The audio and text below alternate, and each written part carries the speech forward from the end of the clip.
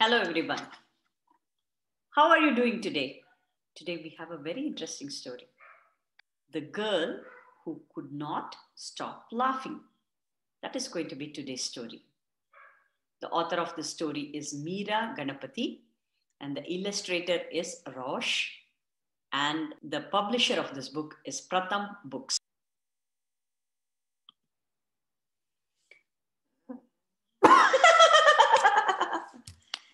An explosive sound erupted across the 4B classroom.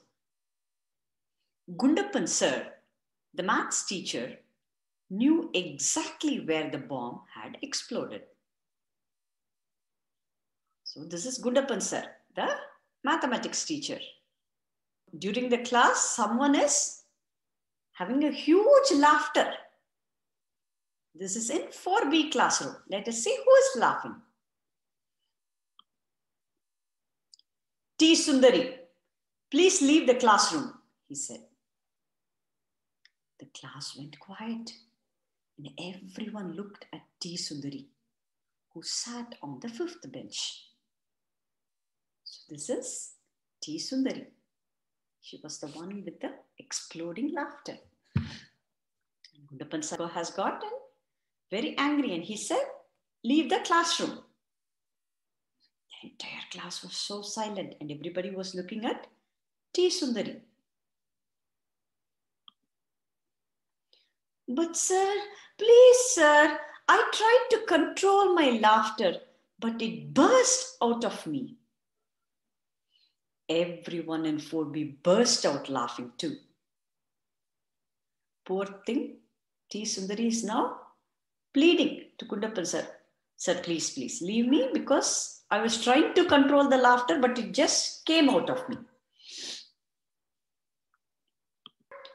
T. Sundari laughed a lot. She laughed for nearly everything. This is the, the main character of our story, T. Sundari, and she laughed a lot for everything.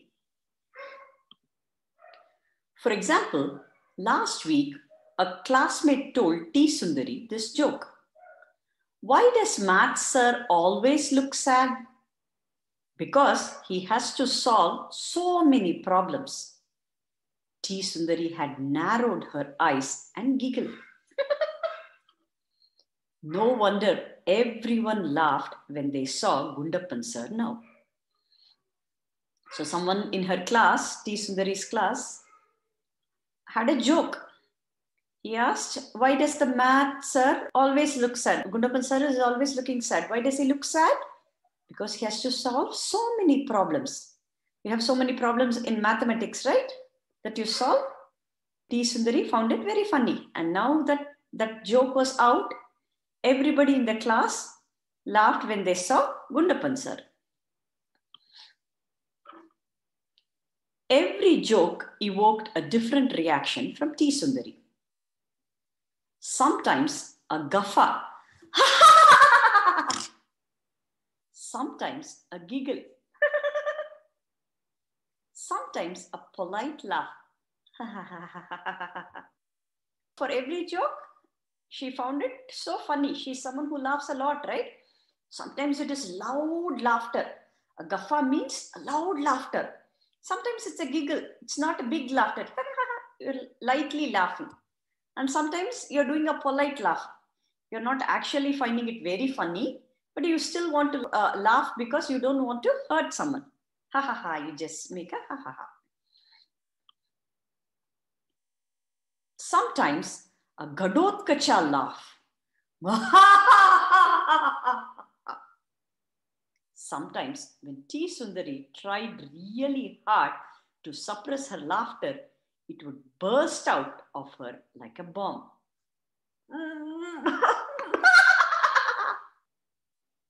In the Indian epic Mahabharata, Ghatotkacha is a huge and powerful Rakshasa with a loud and rumbling laugh. Sometimes what would happen? T. Sundari would laugh like a Ghatotkacha. Gadotkacha was this huge Rakshasa in Mahabharata. So he would have a very loud laughter. Sometimes T. Sundari would laugh like that when she's when she finds something that funny. It was such a big laughter, like Ghatotkacha. Sometimes when she wants to try controlling her laughter, she's not able to control her laughter and it explodes like a bomb, like she did in her class, right? In her math class, like that. T. Sundari was worried. Was there something wrong with her? Why couldn't she stop laughing? She needed to do something. Stuffing a hanky in her mouth didn't help. It just popped out of her mouth when she laughed. Now T. Sundari was worried. Is there something wrong with me now? Why am I laughing so much? I need to do something about it. Sometimes what she does, she puts her handkerchief, kerchief, hanky means handkerchief, in her mouth so that she can stop laughing. But it just comes out of her mouth when she starts laughing. T. Sundari made a list of things she found funny farts, toilet jokes, the word bonda, people slipping on banana peels, and tickling. Sundari made a list of things that she found funny. Farts she found very funny. Toilet jokes she found very funny. Someone mentions the word bonda, she found it to be very, very funny. She started laughing. If she found somebody slipping on a banana peel and falling down, that also she found very funny. And when somebody was tickling, that also she found very funny. So, what is tickling? Tickling means like this, they do, right?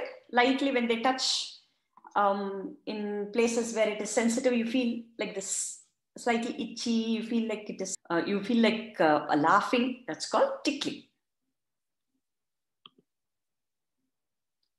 I will make sure I never laugh at these again, decided T. Sundari.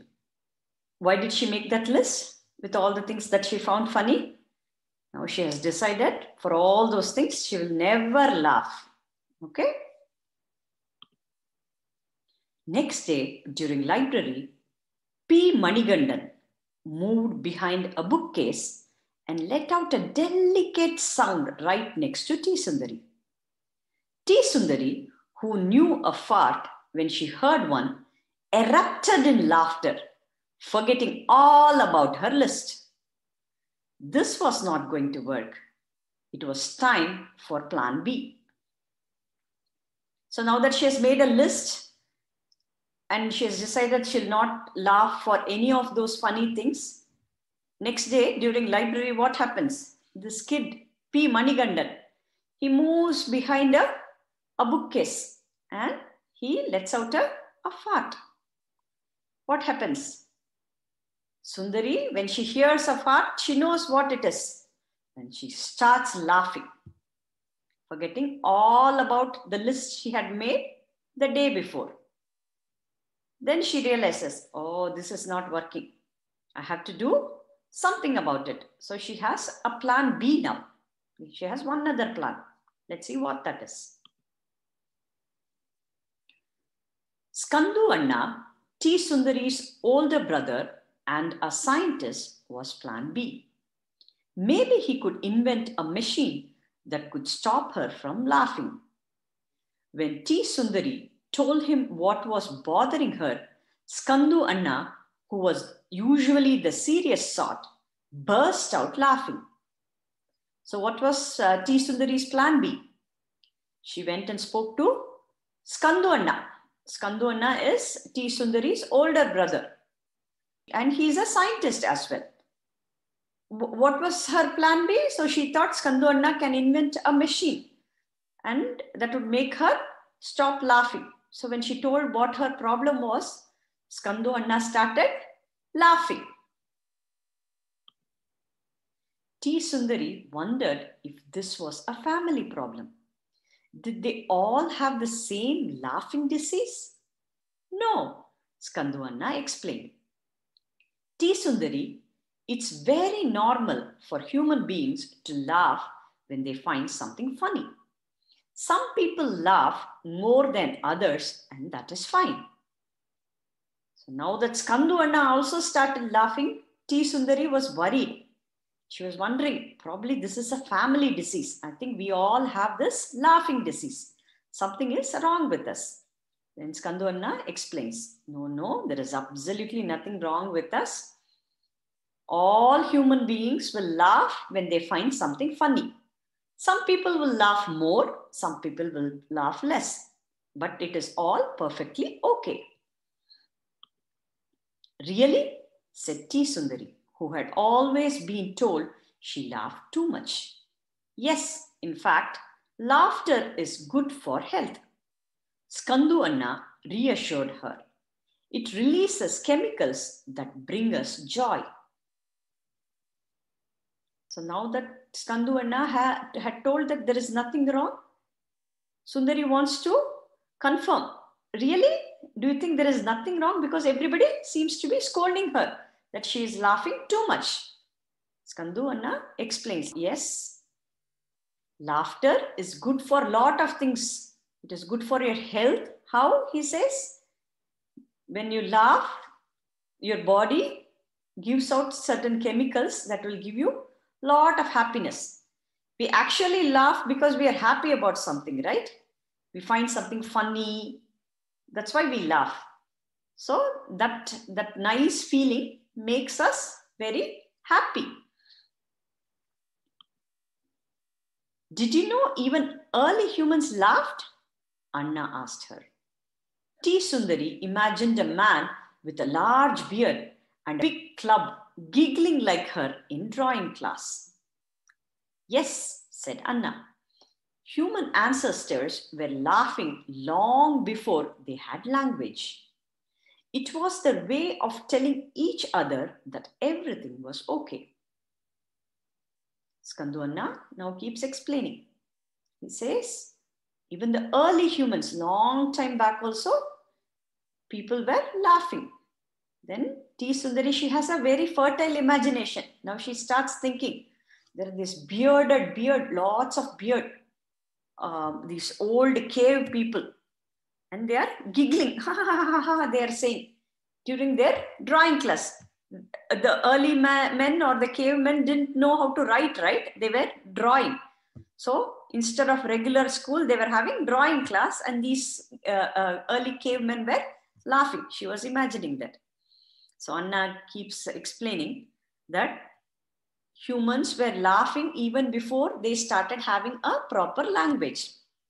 Laughter was a sign to say that things were all okay. Today we laugh to show others that we like them or to express our happiness. Other animal species can laugh too, T. Sundari. Like chimpanzees, bonobos, rats, dolphins, and even dogs, Anna told her. The thought of her pet dog Muttu laughing set T. Sundari off again. So Anna kept explaining further. He said, Now we smile at people, right? To show that we like them. Sometimes we laugh because we find something funny or we are showing our happiness. For all these things, we laugh and it's, it's not just humans that uh, expresses all these laughter. Uh, other lot of other animals in the animal kingdom also laugh. Which other animals laugh? Chimpanzees. Chimpanzees have you seen a chimpanzee in a zoo or on tv chimpanzees are these type of monkeys. Bonobos. Bonobos are also a type of monkeys rats you know what rats are dolphins uh, you would have seen them on tv um, they are these fish right with a snout like this they're very friendly fish and those dolphins also laugh and some of the type of dogs also laugh anna explained then this again made T. Sundari laugh again because she was imagining her pet dog Muttu starting to laugh. That made her laugh again. When the laughter finally subsided, Anna said, Do you know you just exercised, T. Sundari? How, Anna? We were talking the whole time. whenever you smile, even a little, the muscles of your face get to work. So each time you giggle or laugh, it's a complete workout for your face, Anna told her. Oh, said T. Sundari. Will my cheeks have biceps then? So after she had finished laughing, Anna kept explaining further. He said, you know that you have done some major workout. You, it is like you have exercised a lot. And T. Sundari is like, how Anna? No, we were just talking. We didn't do any exercise. Then he says, no, no, when you smile, giggle or laugh, what happens? All the muscles in your face, they all do a workout. It's like they are doing some exercises. So it is excellent for the muscles in your face. Then T. Sundari asks, so will my muscles have biceps? You know what a bicep is? It's the muscle that you find here.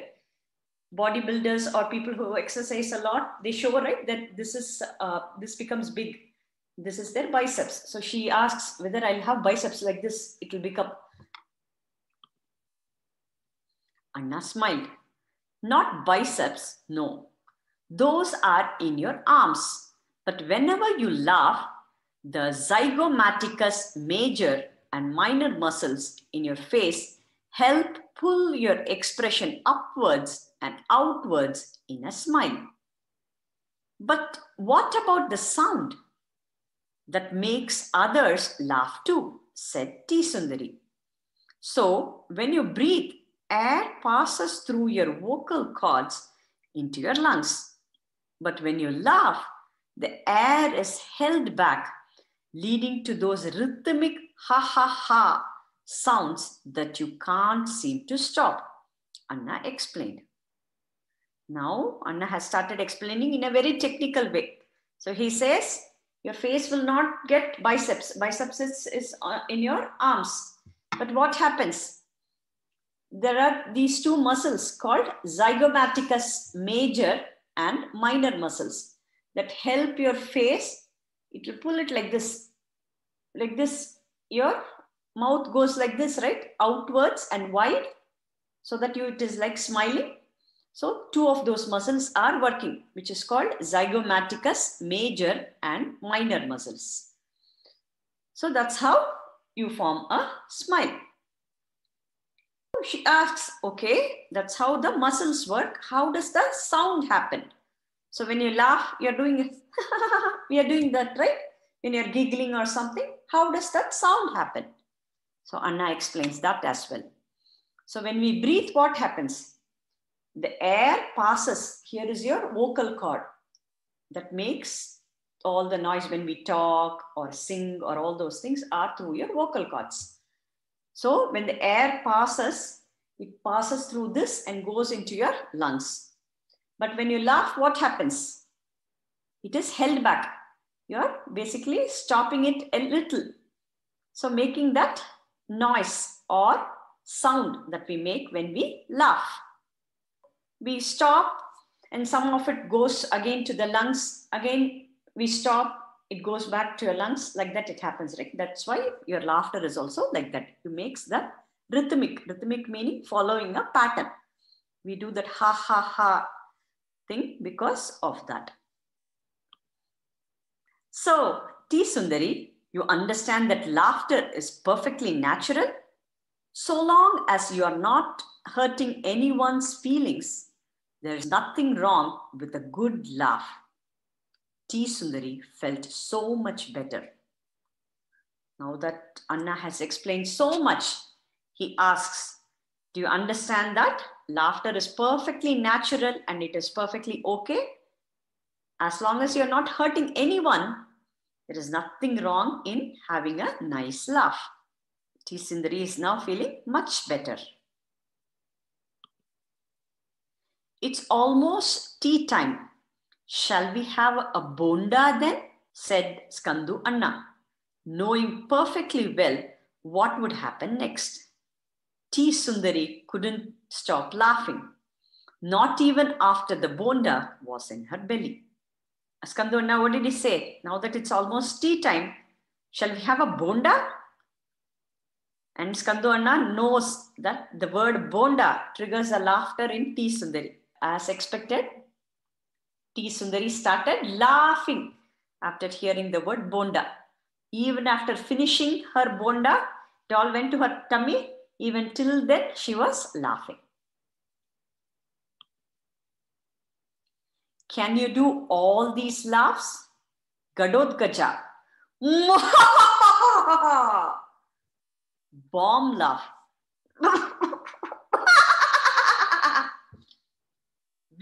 Of Vadanapalli West? Giggle. Gargle. Fake laugh. Let us look at some of the difficult words that we found in today's story. Giggle.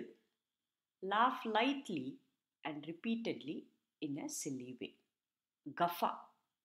Guffaw means loud burst of laughter. Explosive means very loud, like a bomb bursting.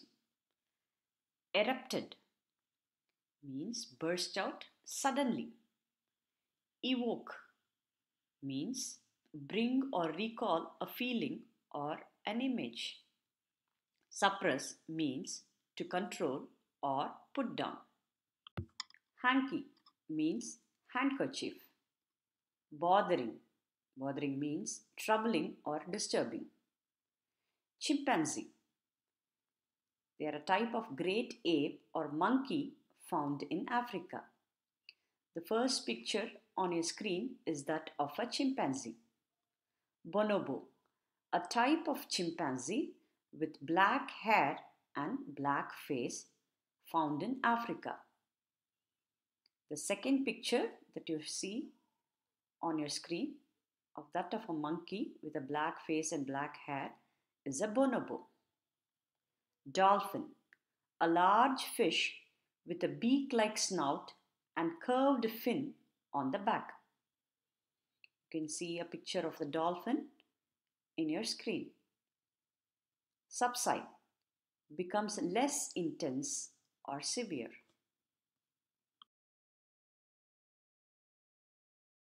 Try these questions. Do you laugh a lot? How do you laugh? Like Ghatotkacha or just a giggle? Write about a joke or funny incident that made you laugh a lot. Like T. Sundari, can you make a list of things that make you laugh? Did you guys like today's story? I really enjoyed it. Until next time, keep laughing. Bye.